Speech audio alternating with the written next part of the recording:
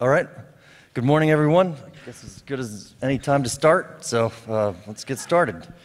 Uh, certainly welcome everyone this morning. Uh, I know last evening was very fun at Stack City, uh, probably too fun, so. Um, now let's start talking about telco cloud requirements. Before uh, we really get into the specifics of VNFs and what they need, I want to make sure we have level set on the basics so there's no, no confusion. Um, as is always with uh, telcos, there's acronyms galore, so uh, I apologize ahead of time. Uh, VNFs, v, the word, the phrase VNF in particular, virtual network function, you know, whoever came up with network function virtualization didn't really think through that very well. Now we have to have uh, a reverse of it. But uh, uh, anyways, the, today we're going to talk about, we're going to introduce some of the uh, we're going to go through the telco cloud and what it is and what we're trying to achieve. And then we're going to uh, talk specifically about the requirements that we're seeing and then possibly some, and get into some of the future things that we anticipate. Um, as we get into this, I want to level set on uh, what we're up to. It's very easy to get lost as we go forward and go through the, this process to get you know, very focused on cost and it's solely on cost. So, you know, certainly when we talk about commodity boxes and running routers, virtual routers on open source and uh, making the transition to virtualization, most of what you think of is all about, okay, they're trying to drive the cost down. As we heard on Monday from Sorabh, our network traffic is going up 150,000%. Uh, it's going to keep going up and up and we have to respond, and we have to respond in a, in a in as most optimal capital spend as possible. So that's certainly a big part of it. But we can't be lost on that and only on that. Certainly there's the operational aspect and, and making things more automated and, and such. But it has to be more than that. Otherwise it's just a commodity. It's just, we're just making another, making bits into corn. We have to add more value. We have to find ways to to add more to what we're doing. And this is where the cloud is an essential part, an essential ingredient to that, adding value. So over time, you know, we've, we've expanded and we've done a pretty good job this way. And, and I think you see that represented most significantly in the, in the last year with our acquisition of DirecTV. Uh, that, that move has helped us in, in enormous ways, uh, beyond just adding more content and adding more services and more of a footprint. That's all good. But it's also added a group of people that have been very innovative when it came to uh, the presentation layer, the content management, the content agreements. And there are aspects behind the scenes that are, are unique. In the next period of time, we're going to take advantage of this cloud that we're working on now to make it into something, make the next generation DirecTV Uverse combination into something really unique. So add more value to it. And we're going to take advantage of the ability to spin up new, new services and new uh, instances of, of the content management system and uh, the way that we work. We're going to do that far faster than we ever did before. So that's one part of what we're talking about that I don't want to get lost on.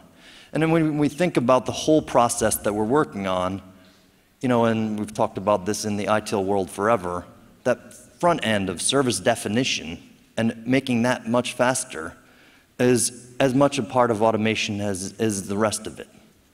So that's what I wanted to, to make sure we, we level set on first. Uh, I mean, just to add to, to what Toby said, um, I mean, personally, in my view, um, the nirvana will ultimately be when Amazon starts using these clouds to spin up workloads. Um, ultimately, because there is a tremendous amount of value in the assets and, and, and physical uh, distribution uh, that a lot of these telcos already have. Um, you know, I mean, so there's, there's a tremendous amount of value uh, that's underestimated, I think, in optimizing that last mile uh, connectivity. Um, uh, for a lot of these, these over-the-top players. And one thing I would add, it's more than just infrastructure optimization and for telcos to add new value-added services, I think one of the key components is really opening that environment up for anyone to spin up new services. Um, because they're probably going to be a lot more agile and have the ability to spin up creative services and enhance the value to their customers as a result. Oh, I want to talk to that. So if you kind of look at, uh, I mean, what telcos do, they're, they're predominantly have done connectivity for the last hundred years in different forms. Uh, IP, uh, in a lot of ways, has been commoditized, and that's just a reflection of building an industry that pretty much has transformed the world. So really the next step is how do I start uh, thinking beyond just IP services or connectivity and really leveraging what I call the beachfront properties that, that a lot of these telcos have. So if you just look at some of the key properties of what a telco cloud target architecture is, and there's definitely a lot of different components to it, but I'm just focusing at this point on connectivity, is physical distribution. I mean, that's a given.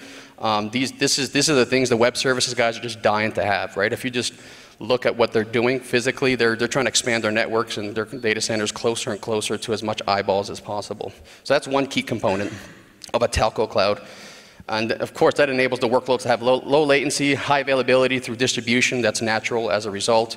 Uh, high volume of last mile throughput. Uh, that's just a nice way of saying if Netflix wanted to start offering me, uh, you know, House of Cards with 4K streaming, and I'm willing to pay for that, Netflix can actually optimize that without having to grow their peering points of AT&T's networks, and AT&T doesn't have to carry all that traffic in their network.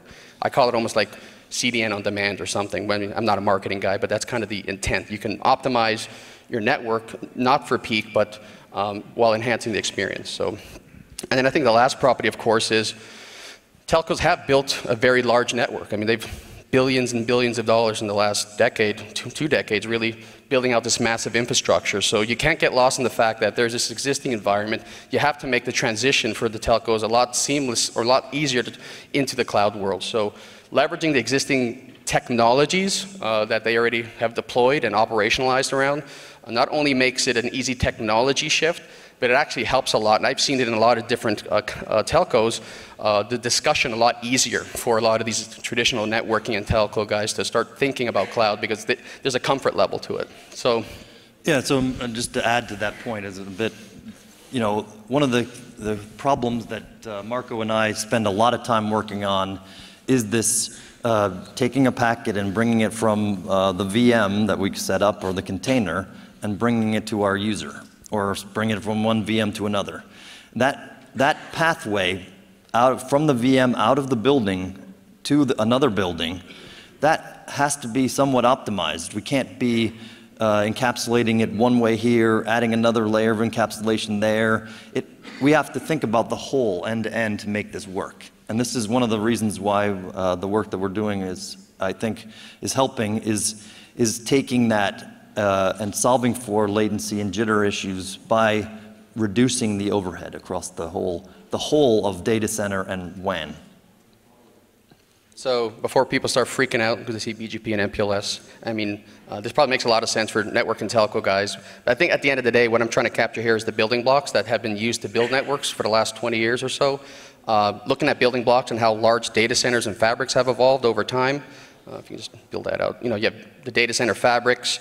Uh, all, all these combined, ultimately, a lot of complexity involved, a lot of details to build really large and distributed networks, which in a lot of ways, that's what the internet is. It's a large distributed network. Um, therefore, how do you kind of bring that into the cloud environment, particularly OpenStack? Um, and being able to abstract a lot of this ultimately to just common APIs, and in this case, Neutron is kind of the key value of how you bring OpenStack into this whole telco cloud environment and kind of, you know, merging the two worlds together. And if you kind of build, yeah, so it's kind of the idea. Um, OpenStack everywhere. Yes, that's, it took me about two minutes to build all that out. Got to be a better way to do that. So, so yeah, the idea ultimately is you have this physical network, and at the end of the day, you just work, workload placement, whether it's containers, VMs, or even bare metal. Uh, I think bare metal or hosting as a service is probably a very uh, attractive option for a lot of these over-the-top players as well. So the point is, enhance the value by allowing these cloud workloads to be spun up close to your eyeballs. And one key thing for the telcos to realize is that actually gives an incentive for people to want to stay on their network right? If, if, me as a gamer can pay an extra dollar a month to some gaming company because it reduces my latency by five seconds, so I have a better uh, chance of fragging someone while I'm playing online, I'm willing to stay on AT&T's network while at the same time playing this gaming, paying this gaming company an extra dollar a month. right? And they can monetize that as well. And that goes back to the whole new value revenue type stream thing. Yeah, so when we talk about VNFs and uh, the VNFs, when we say network function, these are, this is a pretty good uh, representation of what, when I think of VNFs, that's, this is what I'm talking about. So it's more than just the L3, L, L7 stack of routers, firewalls, uh, natting. Those, that's definitely a part of it, uh, but it has to be more than that. Uh, certainly all the security aspects that come with well beyond firewalls and IPS, it has to be much more than that. Uh, in, it, in uh, the telco world, voice is a big part. It, it's a lot of our focus, but the reality of voice is that it is just one of a billion applications at this time. So we want to make it very good, but then we want to move on and find ways to bundle it or work with putting it into other contexts and other services. Uh, you, as, you, as you can imagine, having closeness to a user in the old web paradigm where the data came from some center and is distributed out in the, in the TV model where we take content from one place and move it everywhere, caching is an essential ingredient. But we also have to realize that with IoT, that the whole, that whole dynamic is flipping itself around. That now the data is coming from everywhere. Uh, and if you just think of one simple example, like a connected car having dash cams front and back with 4K video, which is not out of the question, uh, especially the, uh, for insurance folks. They, they want to see that kind of uh, information. That amount of data coming into the cloud and being at the edge needs to be stored, needs to be processed. So something's going to have to happen there to change that dynamic. So that's, that's an example of a VNF that is, is, is changing the way that we're thinking about, and, and a, another reason why we're putting these OpenStacks everywhere. The last few bits, uh, the last mile, as Mark was saying, the beachfront property that we have, we're trying to innovate there and make it much easier and lower cost to bring fiber to your house. And so a lot of the work you see us do with Cord and uh, with Onos around uh, our like VoLTE and our next generation GPON work is all about that. And then the last bit, as I mentioned, as we evolve our uh, content management DirecTV Uverse platforms, that's going to be an, an, integral part of it. Moving and taking that movie that you're watching and putting it into a form that any device can see. You build it out if you want. I mean, just based on that, you know, what we know, right? Uh, uh, based on workloads today, right? It's akin to web applications, uh, backend databases applications, PCRF, packet forming manipulation. you know, it, it's pretty obvious for a VNF. Um, in some form or another, we've got to manipulate a packet. Combination of traditional networking elements, whether it's SBC, load balancing, SIP, uh, UAs, or not UAs, uh, um, uh, back-to-back user agents, uh, things like CDN proxies and transformation elements are some of kind of what we know from a VNF requirement point of view.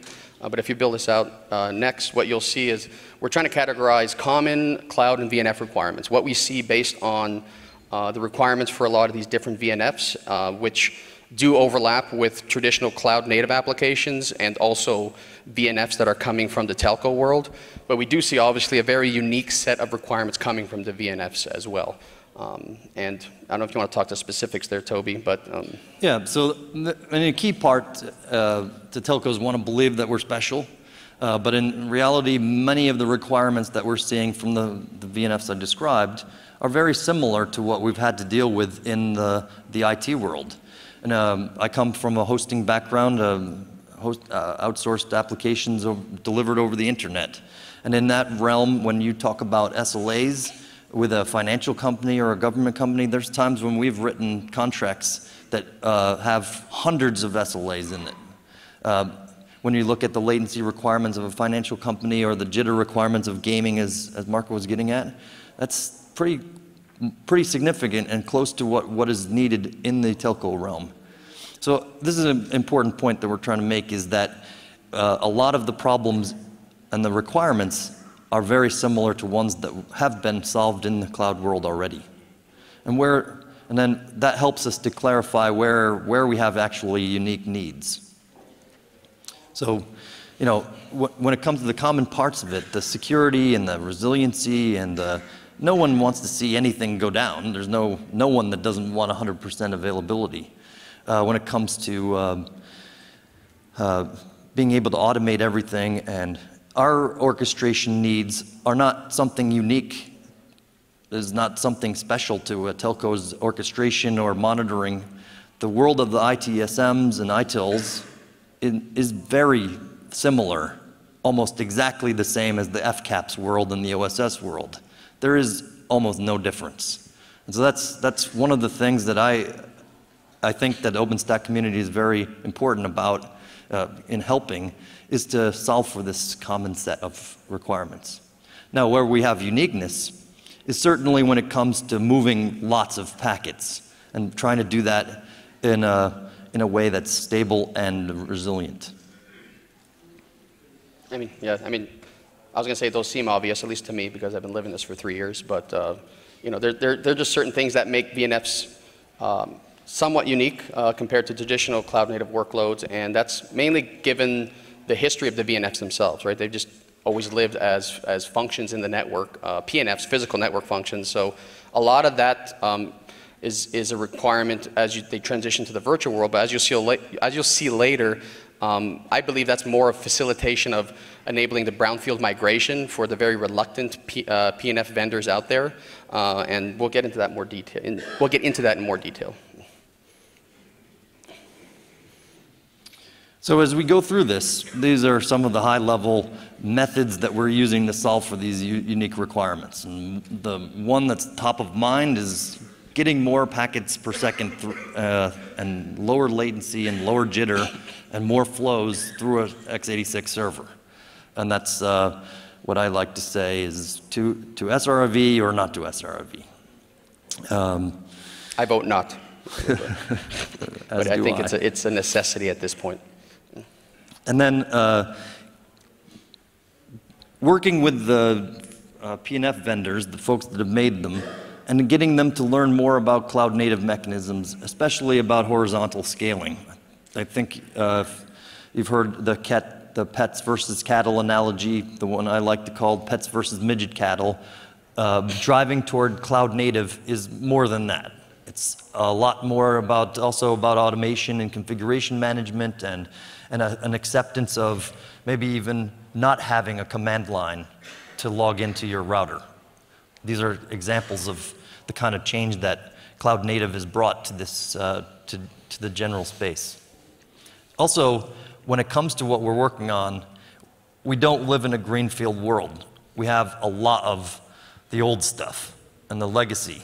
And so we have to be mindful of that as we bring things forward and continue to support mechanisms that help to support things that aren't cloud native. So thing, uh, mechanisms like live migration or vMotion, uh, these are things that people have used as crutches in the past to help get over the lack of scaling. And so that's uh, something that we have to continue to support going forward. Uh, and then thankfully we can use it for other things like bin packing. And then the last bit is I don't think we've done a good enough job at really communicating the, especially around networking, what we want and what we want to do. And that's something that we've talked about a lot this week, is just the onus is on us to make it much clearer uh, what we're asking for. So I'll, I'll talk this particular slide. You know, we've been, we've been spending a lot of effort and testing on trying to figure out for really underneath this, there's a lot of each of these lines represents a different VNF and their specific needs. And we spent a lot of time working, especially Marco and I, when working on trying to test and be able to achieve this level of, of performance through uh, our systems. So, and we've learned a lot. And what I'm hoping to do in the near future is to create some level of standardization on how to test and benchmark. Because when it comes to this type of packets per second or flows through a box, there's a lot of variables involved. And trying to standardize that and normalize that, make it something that's easy to, for the vendors and for us to test in a consistent way so we can compare the answers uh, easily, that's, that's been a lot harder than, than you can imagine.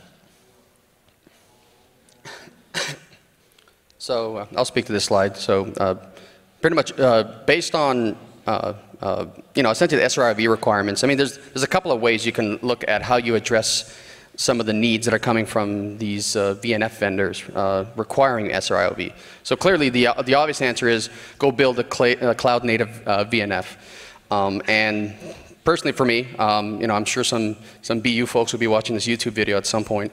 Um, you know, that's, it's, it's, it's a message for them as well is if, if, if you can't build a cloud native app, a really fundamental question of should you really be virtualizing that app should be asked of yourself. Uh, and if, if the answer to that is yes, then you really have to put an effort to rewrite that application so it is cloud native. Uh, and if the answer is it can't be, then maybe the real answer or solution to that problem is automation.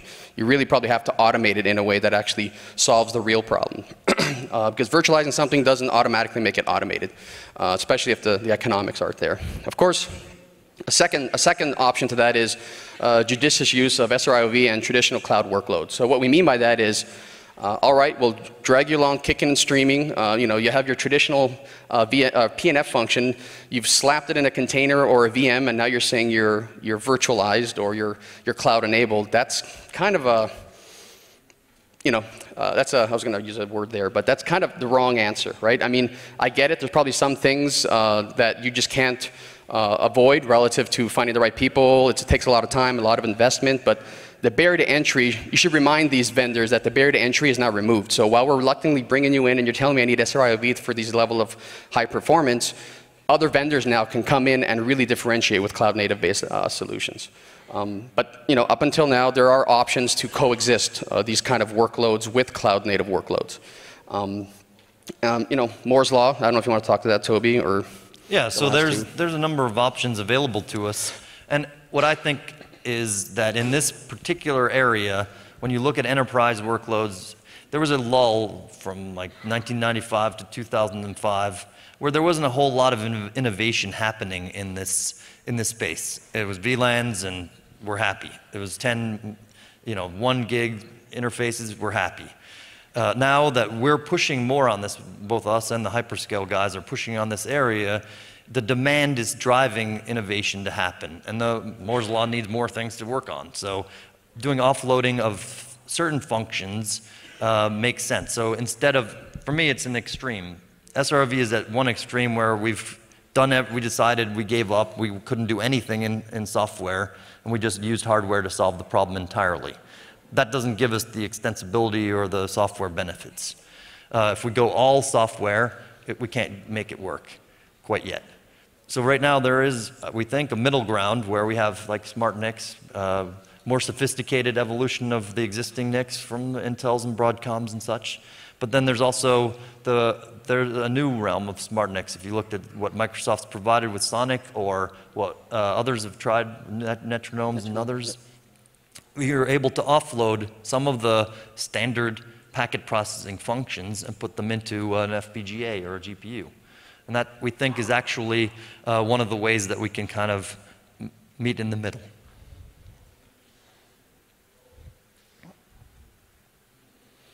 I can take this one. I mean, um, at, at, the end of the day, you know, uh, it kind of hits at the hits at the point that uh, You've, again, you've, uh, the industry has built truly scaled out infrastructure like the internet. I mean, it's, it's the basis of pretty much anything we do in our daily lives now.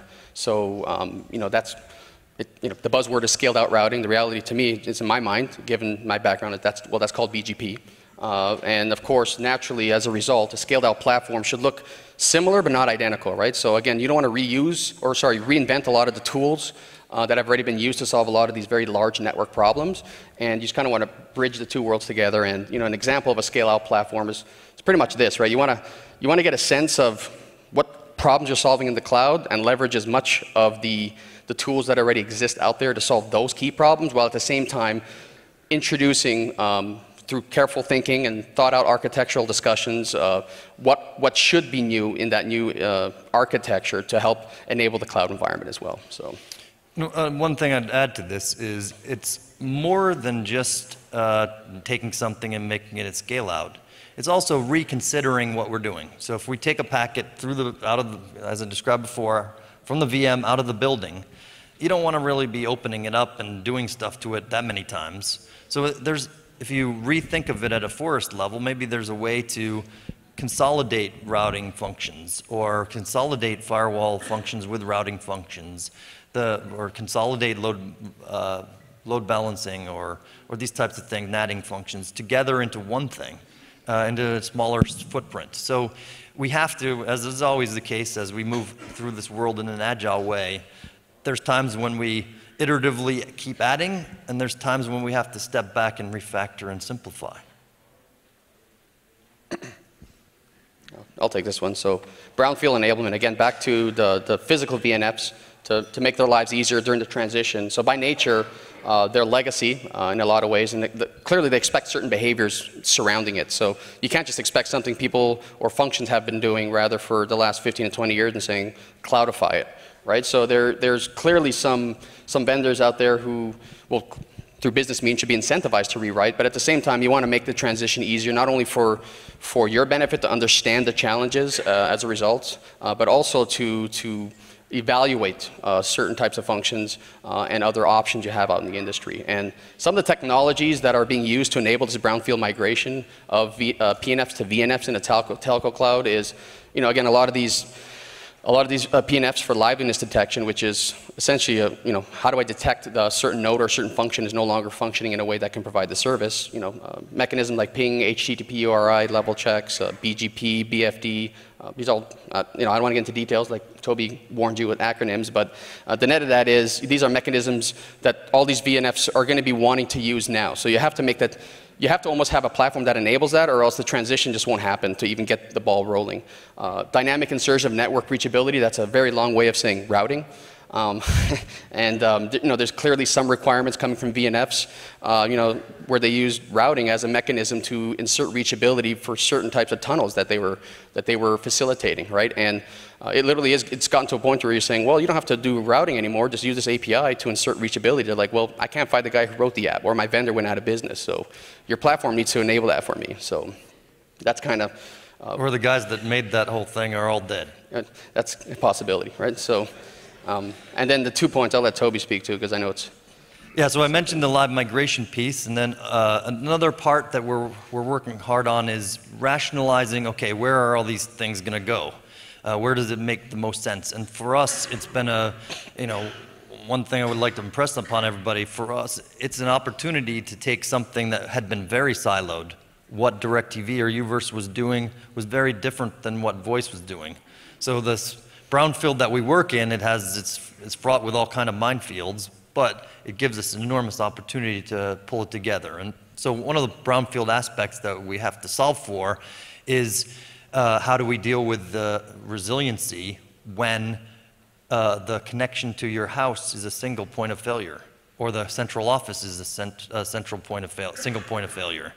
We can't get away from, people don't really have the option to have connections to to two places. Uh, so that, that limits, to some extent, our ability to, to uh, do cloud native mechanisms. As well, the other part that I want to press upon everyone is the, and an opportunity for simplification is that each of the PNFs, the physical network functions of the old days, came with their own orchestration tool. So there's a, a Nokia uh, orchestration tool, there's a Cisco orchestration tool, there's a, a Ericsson orchestration tool, that, you know, multiply that by 100. Um, so one of the brownfield things that we're working on is how do I take all of those things and transition them to a more common approach? And as one of the things that we want to see the community do more of is how can I take a, a Murano, a Mistral, a, a Heat, and how can I take those OpenStack components and bring them together to make and solve for quite a lot of redundant effort.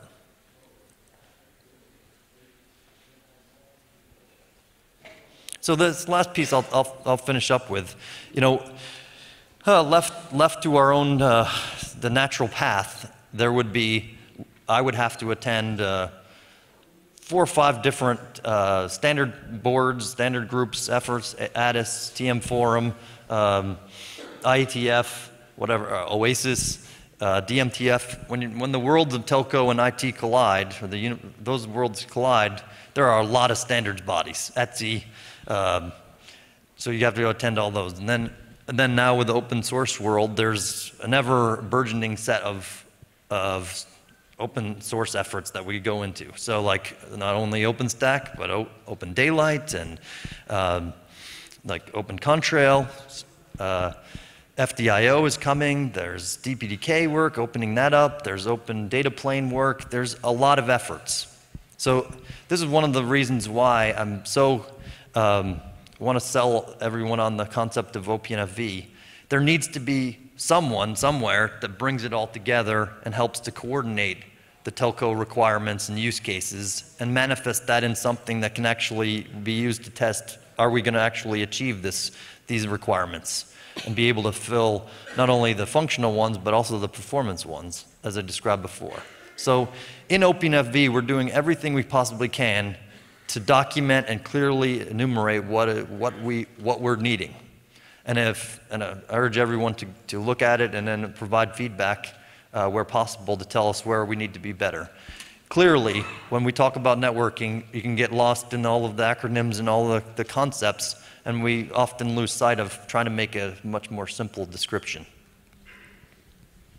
Sure. I mean, I guess the second one's obvious, documented, well, not entirely obvious, but documented APIs and data models. Um, you know, that, that's key, right? That, that literally gets everyone on the same. Uh, I, I kind of think of it like everyone can speak English, but everyone's still either grammatically incorrect or talking gibberish. You got to get everyone talking literally the same structured language. Um, and um, you know, there's there's a lot of different efforts to do that. Um, you know, the world has kind of converged on certain data model um, representative type uh, languages, uh, but at the same time, that's all for naught if everyone doesn't agree on what all that means. So to Toby's point, there, there's you know uh, one to the you know two to the n exponential type operating uh, system, um, or orchestration tools out there. That's mainly because they all speak the language for their specific applications or PNF slash VNFs. I mean. Taking again a PNF and putting in a VNF and still requiring your own, own orchestration tool is not going to work. I mean, that just that's not going to fly, right? The, the reality is everyone needs to come together. Um, in some of these initiatives to document common use cases for the telcos and get everyone on board. Um, that's kind of my view. Um, yeah, and then I'll close with just one last piece is that one of the really great things about OpenStack is where there was not a storage standard for provisioning APIs, there is now one. Whether it wasn't for networking, there is now an enormous uh, opportunity to make that happen. And so we're spending a lot of time working with, with the community to try to make this happen across many, many different domains. So I think that, that really concludes our content for right now. I wanted to save enough time for some questions, so. There was the future slide, I don't know if. Oh, okay. Go that, there was that one more. Yeah. All right, well, just in general, that, uh, you know, as we talked about, it's more than just the, the things that are finding the right balance of hardware and software for simplifying, getting to common APIs. All that is very helpful to fulfill the cloud requirements. But there's also, as I was getting at at the beginning, we don't want to lose sight of, okay, the, the, that's all commoditizing what we do. How do we add value? How do we make this into a platform that can evolve faster? So one of the things, like what I'm working on lately, is uh, adding storage to the story. How can I add storage to the central office to make it something that allows you to back up your mobile phone? You know, how do I add more? How do I combine services together? How can I take maybe IBM's public cloud or uh, Rackspace's public cloud and combine it together with our network and our, our capabilities to make a hybrid cloud that's compelling and, and bundled? Uh, these are things that I'm thinking about a lot lately is how do I, how do we add more, more value on top of this uh, set of the base requirements, how do we make more requirements that make, make us more valuable? What he said. All right. So if uh, anyone has any questions, feel free to stand up, step up to the mic. And, oh, oh, one last thing is we made the, the guy stop crying. Thank you very much. Very interesting. Do you think that there is an eventual desired outcome where the telcos will want to use a carrier neutral OpenStack cloud purpose built for VNF? Much like you see carrier neutral facilities being used where they are able to gain connectivity to the last mile? Or do you think that AT&T and other telcos will want to continue to invest engineering resources to differentiate their own OpenStack cloud? that's a very good question. I think, as I was kind of getting at with the, the bits, I mean, I think everyone here wants to see us find a way where all the telcos work together to, to make the bit, moving the bits cost less. And, and I was getting at a little bit last night in our, uh, in our time together with all the different telcos uh, out at Stack City. You know, there is such an uh, enormous opportunity to help get from the first billion people that have access to the next uh, 5 billion or 6 billion people and making this uh, kind of technology available to a broader set of telcos, even the smaller ones. You know, that's what the TIP effort with Facebook's really working on right now, and I think that's that's quite exciting and kind of it kind of I think gets to some part of what you're saying is that the carriers can work together to to sort of make the bits less of important. But again, for us to continue to exist and be fruit, uh, you know, to grow, we have to find ways to add more value. Thank you. Uh, Anything I say will be considered bias, so. Yeah, so a question, uh, we're talking about the technical challenges on uh, moving into uh, NFV, and uh, the question that I have is mostly on the moving to open source as a business model, and the type of vendors that you expect will happen. Uh, this is definitely a disruption because the current model of, uh, in which a lot of the equipment and gears that you're using right now is being sold in appliances and very close kind of licenses model, and moving to open source is a completely different model. Do you expect that the new players that will come to that will be completely different than the incumbents that Yeah. you're working with right now? Absolutely. This is probably one of the more important points I wanted to make. Um, as you've seen with, with Unix, just take Unix as, uh, as a good AT&T example. I mean, for the longest time, people made 20, like when I started in IT, I used to pay $20,000 for a C compiler. That's a lot for something now that's very undifferentiated and, and essentially is everywhere. Um, so it, and then Red Hat and others have shown that it is possible to make a business out of taking something that eventually gets out to everyone and makes a, can add value themselves by adding services or support. I mean, when you have to, for us, we have 50,000 Red Hat instances. So they provide a lot of value just by helping us keep those up and running. So there's, there's, always, there's always something for them to do. Uh, there's always something for people to, to add value on, even if the bits themselves are uh, open sourced. Now, the part that I really want to compel everyone is uh, right now, many of the VNFs, they aren't open source. Even with routing, it isn't really a meaningful open source router that I can use in the WAN. And we'd like to see that. We'd like to see that more with other, other components. And so I think you'll see that more, uh, but it hasn't happened quite yet. So there is, there is business, there is still a business to be had, and Red Hat has proven it, even if the bits change to open source. So similarly, the question is to Juniper here. Uh, Yeah, I mean, uh, clearly, we're- we obviously are a company that has uh, uh, traditionally offered a certain set of product over the years. Um, I've, I've been a proponent internally saying, um, as the world shifts to open source and even open hardware, um, who knows this stuff better than us, especially in certain industries, right? So we can be the, you know, the high-end services integrators for these types of services. Um, because it, look, at, look at Red Hat, right? They built a model around understanding and knowing Linux inside and out, right? But well, there's, we have great guys, right? So to Boris's point, you know, uh, we have a lot of good ninjas, right? So it's just time to lease them out for hire, right? Um, it's, it's a different business model, and that's the biggest challenge for any, any public company is trying to shift business models that way. But I think it's, it's a necessity. Yeah, and then I also want to add, make, make sure everybody's clear on this. Open source is not free. That it was never meant to be free. There's still, I, I'm- I'm a developer. I like developing, and at some point somebody needs to pay me. Uh, so there's, even if I have apply an open source license to it so that everyone can get enormous generative value out of it, still there's somebody has to get uh, paid for supporting it, and the ninjas got to get paid. Thanks. Hi. It was a very nice presentation. It's nice to see that there's a focus on the network because what the reality is network is our cloud, right? As, as good as your network, you provide better services. But unfortunately, from 1980s, 1990s, the network vision, oh, I have private cloud, I have, I have a private network, public network, and in the middle of DMZ. And the view is all these are the, ha, has the same DNA, same characteristics. Unfortunately, it's not true, right? So when you move into this today's world, the front-end traffic versus back-end traffic, their, their DNAs are much different. So what's your vision to differentiate the back-end traffic by means of providing facilities, different views for better services for machine-to-machine and to see better performance of the VNS? Thank you. Yeah, you can go for it. No, you, you go. No, I go. I- So, um, so I'm trying to understand the question. You're essentially asking how we see this, this telco cloud uh, adopting to these different uh, requirements that you're seeing from different applications, say on front end, back end? Oh, someone killed his mic.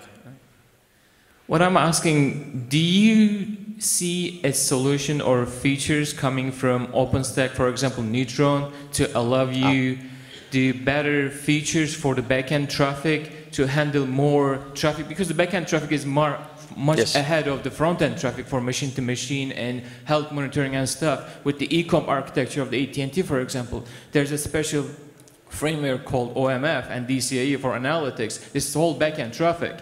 So backend traffic versus front-end traffic, the ports on the front end not necessarily to be used on the backend, vice versa. So when you implement one security profile, it will not fly for you for a backend, for example. Yeah, so I mean, uh, this is a very good point, is like, uh, what we're trying to solve for is to solve this problem you're describing. I mean, and this overlays are one way to solve it, but I mean, and Neutron is certainly a, a key, plays a key role in it. But this is why we want uh, the network to switch to be more about software, so that we can provide QoS in certain areas and not in, oth- in others. We can provide high throughput in some areas and not in others. We can do full, full packet inspection in some places and not in others. We want to judiciously apply these techniques uh, to the problem so we can be more efficient. And software helps us to be that flexible to do that in where and when we need that, where the hardware wasn't able to do that in the Correct. past. So, to, so now that I understood the question, um, I think at the end of the day, we, at least us as Juniper, we, we, had, we obviously had a very conscious effort uh, to make sure we addressed all these issues as much as possible on the back end, uh, but, uh, but at the same time be very conscious to contribute a lot of that to the community as much as possible. And that was the rationale for getting and putting Open Contrail out there, um, because there are just there are a tremendous amount of requirements, and this stuff's moving very fast. I mean, it it has to move fast because I believe it's an existential threat to a lot of the telcos. So um, we, we're trying to keep the community open as much as possible uh, by building the essentially what I call the implementation on the back end for Neutron to address a lot of those use cases. And over time, as those start getting pulled back into Neutron in the community, we, we obviously make sure to, to adhere to all those APIs and data models as they get defined. Uh, and maybe at some point, you know, some of these projects do become part of Neutron. Um, that's, you know, it's up for debate. It's not, a, it's not clearly in, in, in my hands to make that kind of decision, but, um, you know, that's, I don't I, I think I answered your question in a, in a different kind of way, but at the end of the day, it all depends on the implementation to address those use cases. And if you either wait on the community or execute on something you believe you need now, uh, with, the, with the expectation that it'll eventually evolve and become part of a larger community effort. And that is our, our ultimate goal as well. That's why we open source it from day one. And the beauty of OpenStack and the ability to bring new things in quickly. Yep. Uh, So you, you spoke about um, operators, or or vendors, sorry, um, not just porting their uh, applications into uh, virtual machine and then call it uh, cloud. You say, you talked about uh, how it should be native. Um, Could you explain maybe some of the things that you'd like to see done on, maybe not at the firewall or NAT level, but more at the uh, higher level applications like the MMEs, the HSS, the CSCFs, these kinds of things? What, in your opinion, would um, would mean that this application has been ported into into cloud and and it's native.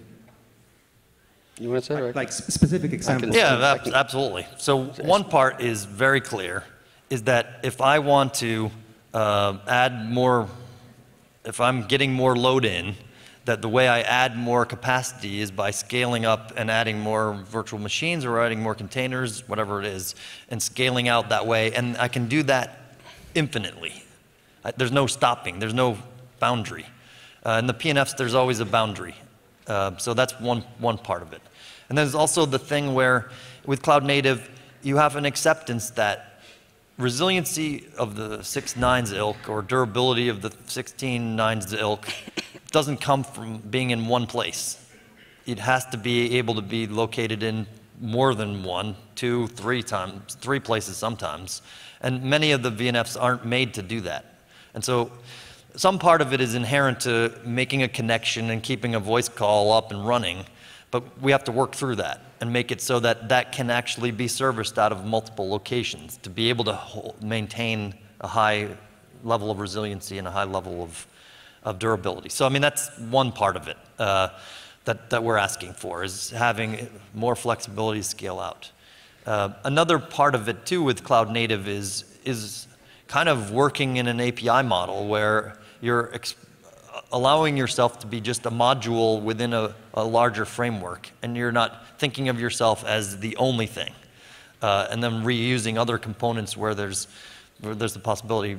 The crying guy at the beginning uh, is crying in part because he used to own the whole stack and he could control the whole thing himself, and that's also on our end, on, in our organization. We had teams that owned how I built the infrastructure and how I built the presentation layer and everything between and they, they don't have that anymore. So going toward a more modular design is another, another characteristic that's, that's uh, unique to cloud native. Yeah, I mean, that, that was probably going to be my key point was modular design. I mean, um, I get there's a transition phase from going from a PNF to VNF, but uh, if you look at certain applications and uh, in my mind, if it's already running on some form of appliance that's x86 based, it just happens to be in branded hardware for a certain vendor, that's ripe for moving it to a VNF. But then you have to really, really zoom into the application and the architecture this service is offering and whether you can explode it out and really start rethinking how that fits into a larger framework. Um, that's that's kind of what I meant by what I said earlier. Right on. All right. Thank you, everybody, for showing up and Thank you.